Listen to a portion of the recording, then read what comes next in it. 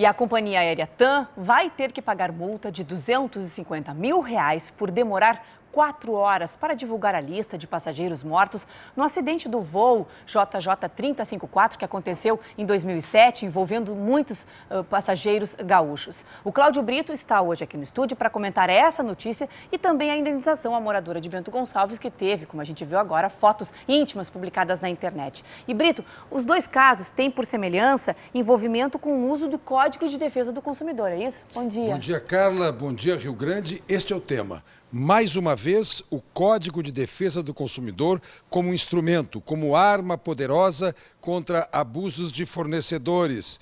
Especialmente porque o Código de Defesa do Consumidor, entre outras proteções, nos dá o direito de inverter o ônus da prova. O que é isso?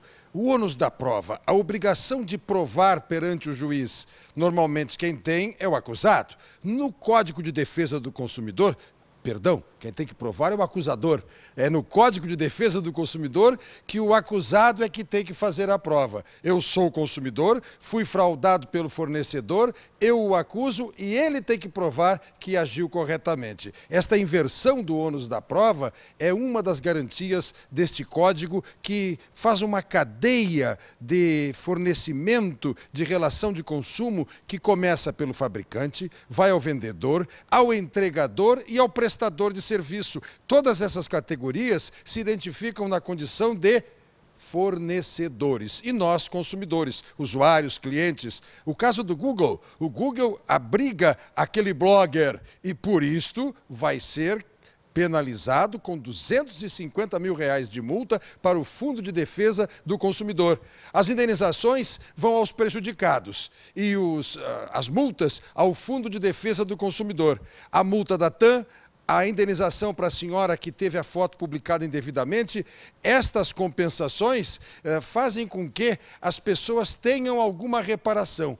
Por isso, uma pergunta: a sua cidade tem PROCON? A sua cidade já tem um órgão de defesa do consumidor? Movimente na sua comunidade para que se crie um, para que tenha você a possibilidade da moça de Bento ou dos passageiros da TAM, dos familiares dos passageiros da TAM, que vão ver uma multa ser paga porque levaram quatro horas para divulgar uma lista de passageiros que deveria estar, no máximo em três horas, à disposição dos interessados.